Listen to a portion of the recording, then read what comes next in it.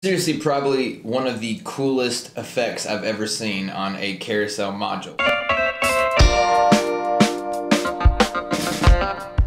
A few weeks ago, Divi Gear reached out to me about reviewing a carousel plugin. Divi Gear is a company that makes third-party extensions and third-party themes and plugins for the Divi Extra any elegant themes things. A carousel, if you don't know, is one of those things, it's like a slider, but you can like flick through it and it makes all sort of cool little animations. A lot of times they can be uh, used for creating a lot of cool mini micro engagements on your website, which is what we talk about on the channel a lot. Also makes it look cool. Like it's like an Apple thing. People want to get in on all the Apple websites since they're like, give me a carousel. Why not? Let's make it go ring around the rosy, put some stuff in, maybe make people like it. People love the carousel, but they often look very similar. What Divi Gear has done is it has taken your regular kind of slider theme and it's added a few extra options to give you more control over your carousel module but it also makes it look really cool. There are a few really cool effects that we'll get into today. Now, how does this plugin help you? Well, it makes your website look a lot more modern and sleek, which builds trust, but also it provides the opportunity for micro engagement. So as people are flicking through, it allows people to get that aha moment that makes them want to stay on a site longer and interact and engage with you more. So having something that will take your carousel game up a little bit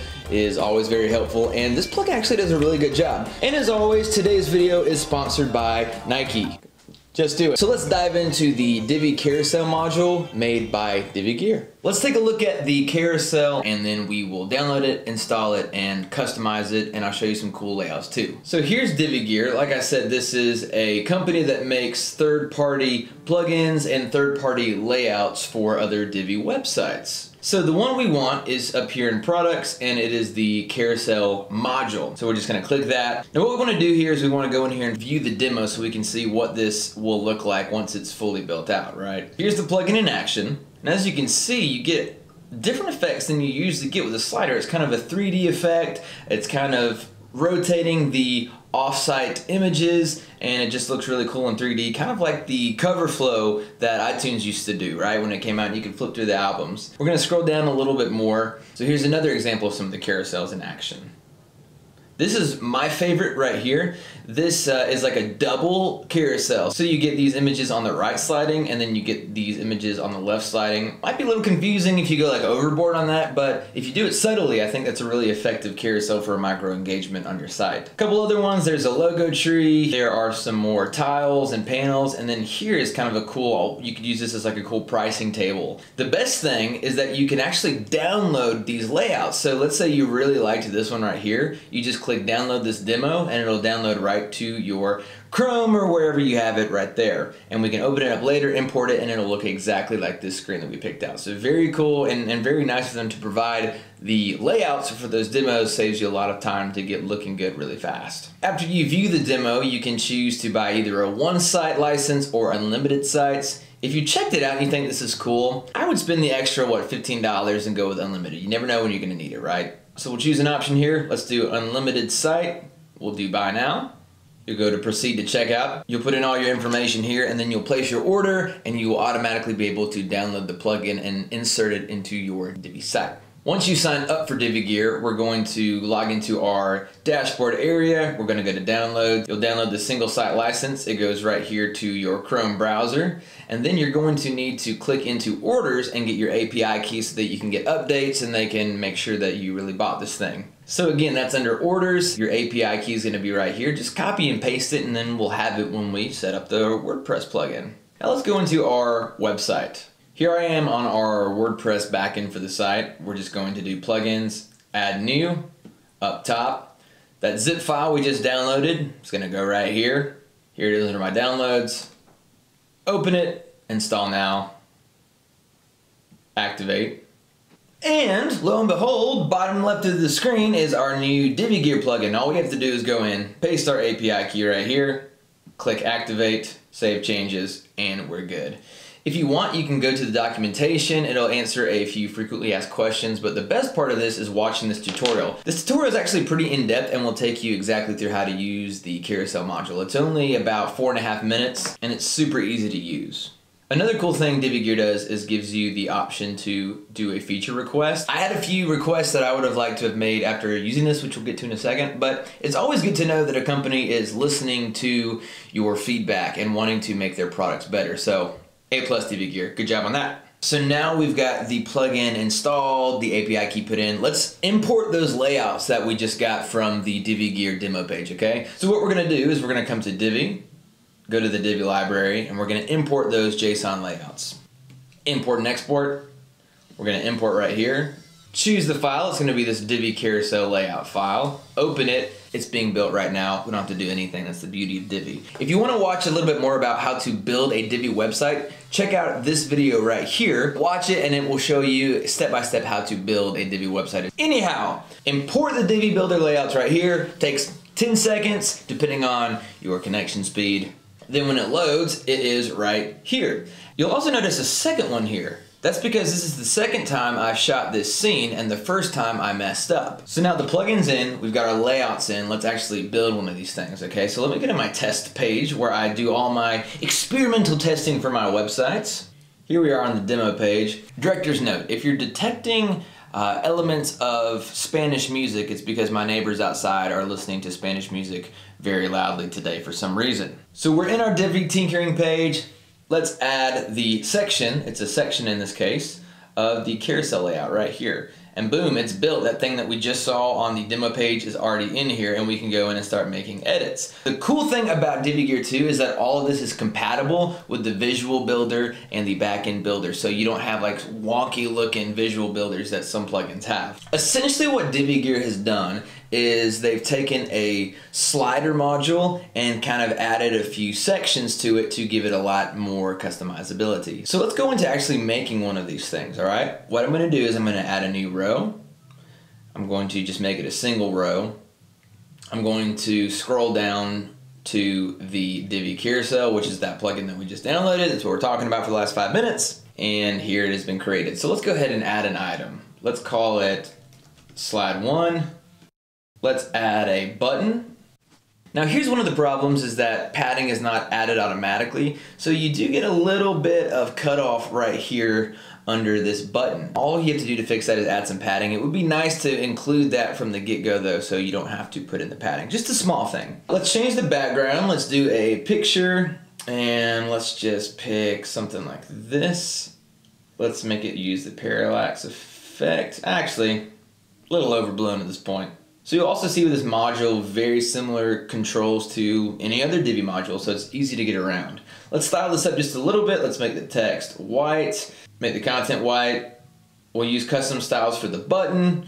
We'll make the text white, and then we'll make the background this red. And then we kind of need to add spacing in here, right? See how it's all kind of like pressed against each other in that button? So let's add a little bit of spacing. Let's see if it's easy to do this. So I'm just gonna give it one view height on all this stuff right here. Kind of coming in a little bit. Let's give the content some. So now what I want to do is I want to duplicate these. Let's say I wanted to do like four or something. So you're just going to hit duplicate. Then you can go in and edit those. Let's do that really quickly.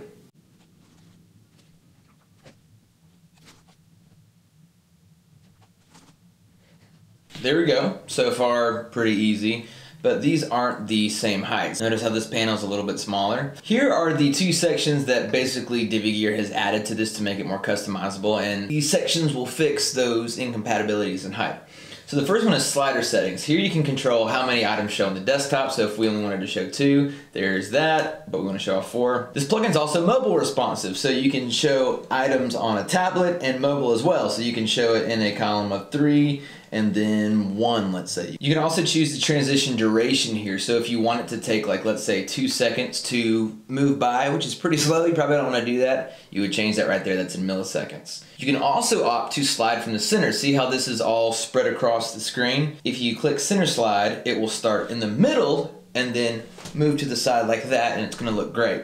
You can also choose whether you want to loop these and you can also autoplay them. Autoplaying does not work on the visual builder, but if you go to it on a regular page where you're not signed into the visual builder, you'll see the autoplay looks smooth, looks really nice. You can also pause the autoplay on hover if you wanted to, and you show how fast you want it to move. That's not miles per hour, that is, I don't know what that would be. What would that measurement be? Pixels per second? Finally, you can add some arrow navigation on the sides so you can see those arrows coming in when you hover over. You can also ask them to go outside. You can also choose dot navigation, which will add the dots down here. Where to align the dots, how far to space the items apart so you can see that these are moving your panels. And here is where you can add the equal height to make them all look good. Another super cool feature of this is the lazy loading. So lazy loading helps with your page speed because it won't load images until someone gets almost to it. So it speeds up your load time so you can opt to do lazy loading, which you should probably be doing if we're being honest. And that takes care of the slider settings. Now remember how I said there are two sections? Think of it like this. Your slider settings right here are going to be how your carousel looks before any interactivity, before any engagement from a user. The advanced slider settings are going to be what happens once the carousel's been engaged. So once someone flicks it or clicks it or touches it, what's going to happen. You'll also notice that there are a lot fewer selections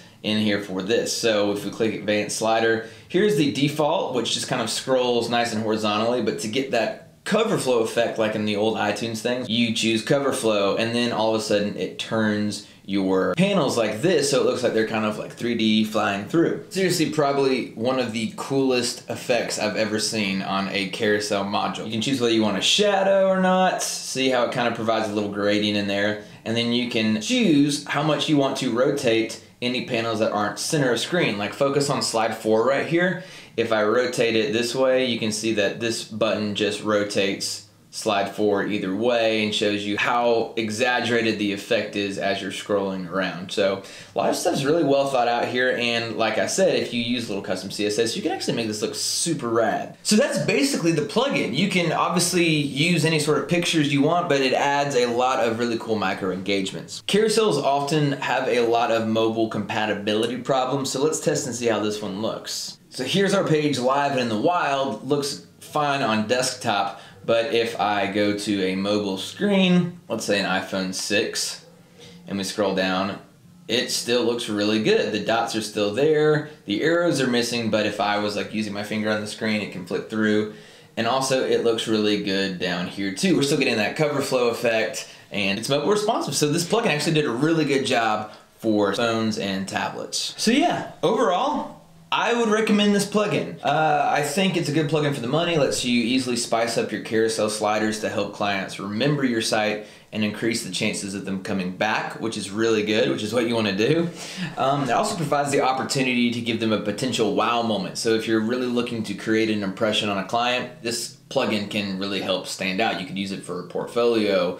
You could use it to like showcase pieces of art you've done or products you've created, things like that in a 3D way. Pros of this plugin. I like the uh, cover flow effects um, and the option for the infinite loop and the autoplay. I think that's really helpful. I love that it has built-in lazy loading. That means they're thinking about page speed, which means that there was uh, some forethought put into creating this plugin. I like that you can add in the dot navigation or arrows to show the direction or length so people know how long of a carousel they're getting themselves into. And I also love that you can download the layouts on the demo page because I saw a few that were like, I don't know how to recreate that.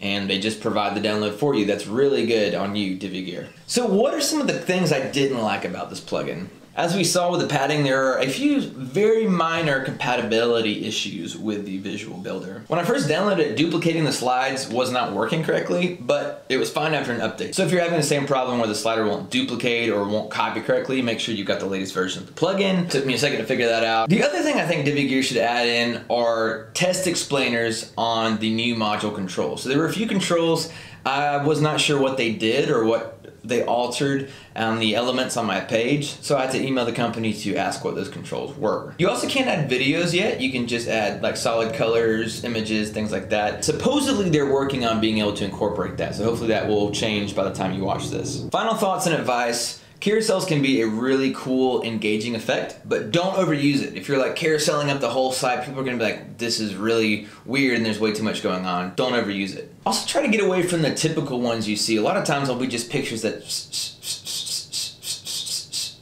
slide on through. This is why I like the plugin because it spices it up. Try to get away from the typical ones you see. Remember when Coverflow came out on iTunes and we were all like, that's amazing, that's really cool. Think about that with your website carousels too. You want them to be unique. Don't just throw photos down and be like, look, you can touch it. Go for some sort of animation that can be remembered. You can get some really cool effects with smaller ones like half screen ones, which is like that one we checked out at the beginning where you had kind of two carousels going in tandem with each other. Just adds a little bit of a uniqueness to something that can be a little overused. If you're interested in getting the Divi Gear carousel plugin, you can click the description below. It'll take you right to it and you can check it out. I give this a thumbs up plugin. Thanks for watching.